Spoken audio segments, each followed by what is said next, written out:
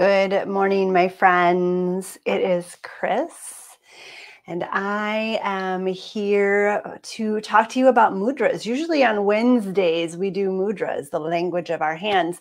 Yesterday was a crazy busy day. Um, I had a lot of clients. We started our Kundalini stuff, which is unbelievably amazing this round. This is the first time I built my own Kriya for our sadhana, and it's super fun. Um, I really love it, obviously, because I made it. And um, then we had our Kundalini class last night for the first time. It was just fabulous.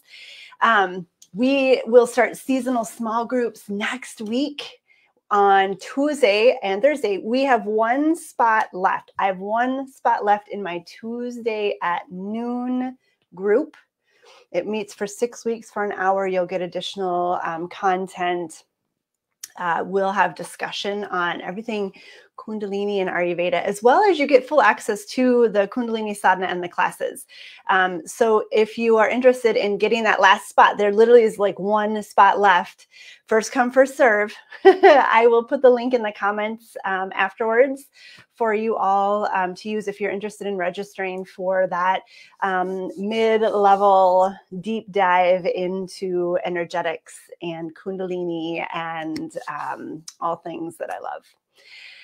So today, here I am, let's talk about mudras.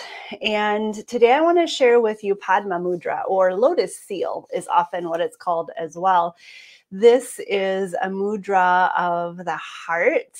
And I chose this because um, yesterday, one of the things that was on my schedule was I needed to go to a friend's funeral. And um, it was a friend of ours who died before his time and um, was just an absolutely lovely man, absolutely lovely man. Um, and he was all about the heart. And the funeral yesterday was a beautiful celebration of him. And I learned so much more about him than I even knew before. And um, everything everybody said was all about his heart and how generous he was and what a beautiful friend and brother and husband and uncle and person that he was and it is very true. And so today in honor of jose i am offering up um, padma mudra for our hearts to connect us all um, and to show some love and to share some love because that was really Jose was just a loving, caring person. And so today, this um, mudra is in honor of Jose, of my friend.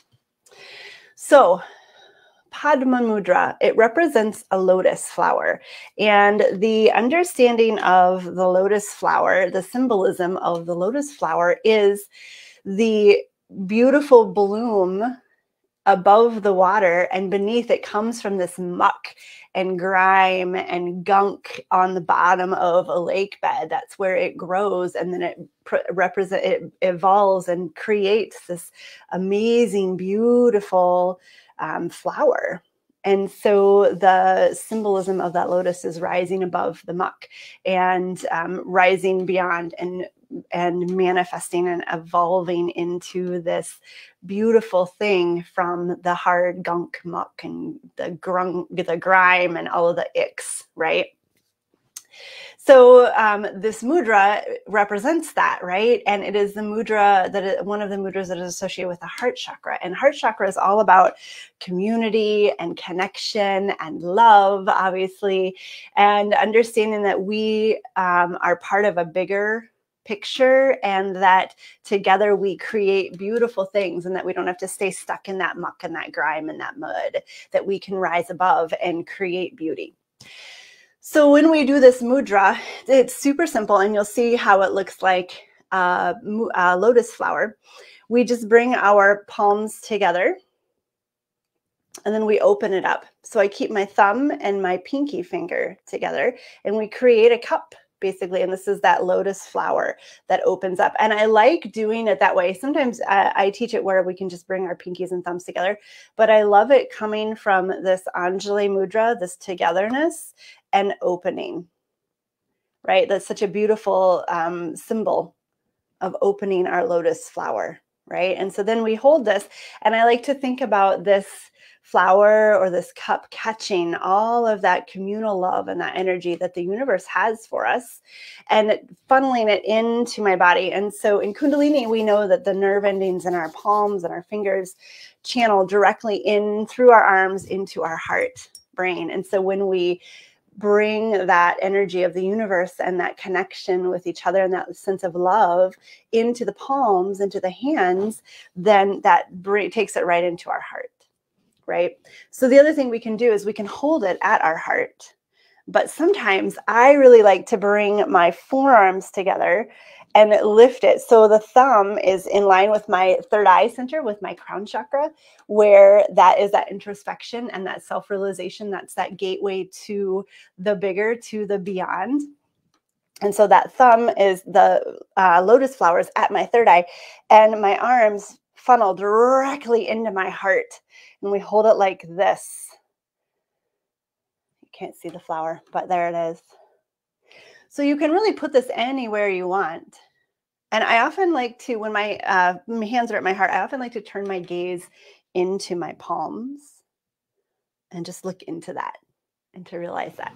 So those are two ways to find that Padma Mudra or that lotus seal. And as we find this mudra, again, I remind you of the intent, right? So much of our practice is that intentionality of the placement of our hands and the direction of the energy and awareness in our bodies. And so, with this Padma Mudra, with this lotus seal, the intent is love and heart chakra and connection and community and supporting each other and rising above to create this beautiful new thing like a lotus flower.